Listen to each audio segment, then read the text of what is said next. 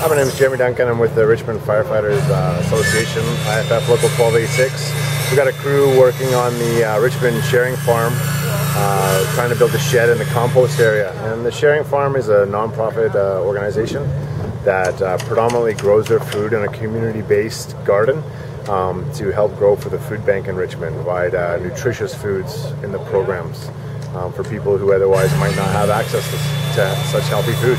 And the guys have been really excited about this program and giving back to the community. And luckily, we have some uh, some gentlemen who are pretty experienced in this building uh, building business, and they are helping out.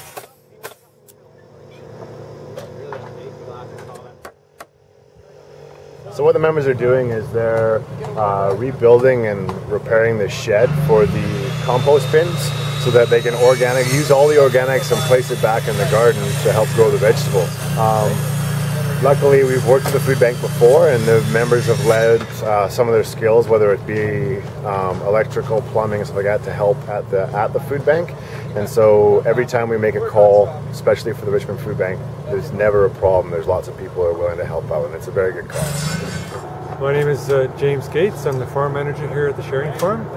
And behind me, uh, we got uh, a bunch of firefighters from different um, halls in Richmond, and they're building a roof over our compost facility. So um, uh, it's all volunteer labor. They're doing it uh, at the end of their shifts. Many of these guys were out last night uh, doing a hazmat uh, emergency, and they're very tired, but they're here helping us with their with their enthusiasm and their service, and uh, we appreciate them greatly because the roof is going to help us uh, make better compost, grow better vegetables that all go to the food bank.